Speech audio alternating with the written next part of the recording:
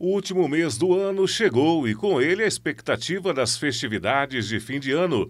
O consumidor aguardando o momento certo de ir às compras e o comércio preparando as vitrines, promoções e a partir de hoje o atendimento em horário especial. Para o comerciante ele tem mais tempo de de mostrar os produtos, receber os clientes e o pessoal, como que aqui Dourados atinge um polo, né, que vem pessoas de fora também, então os clientes dobram. Então, com tempo estendido, as pessoas que trabalham em horário comercial têm um tempo à noite e final de semanas. Então, assim, é bom para os dois lados. Nesses primeiros dias de dezembro, o horário de atendimento do comércio vai até às 22 horas. A partir do dia 11, ele se estende um pouco mais e o comércio fica aberto até às 22 horas. Agora, para quem pretende fazer as suas compras nos feriados, tem que prestar muita atenção, porque nesses dias o horário sofre variação. Nos domingos, dias 17 e 24, o comércio funciona entre as 8 e 17 horas.